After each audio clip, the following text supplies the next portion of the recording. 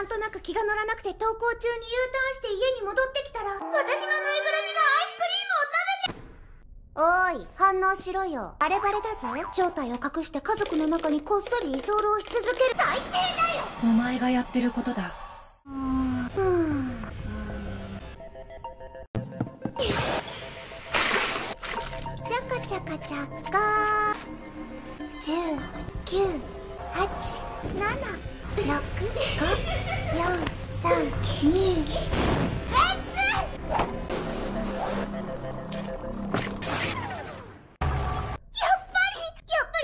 が動いた。何これ？超怖い。みんなで一緒に。3お前の方が怖いよ。